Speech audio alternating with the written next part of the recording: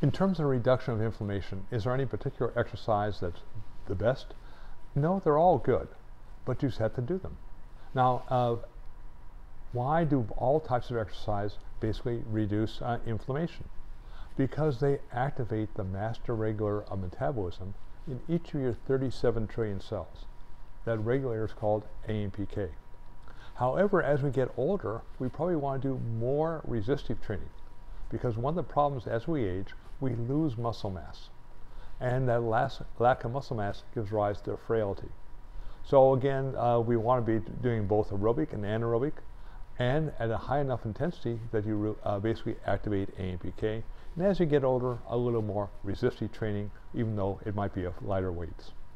Thank you for watching this video. If you'd like to see more science-based videos on a wide variety of topics, please subscribe to this channel. Thank you.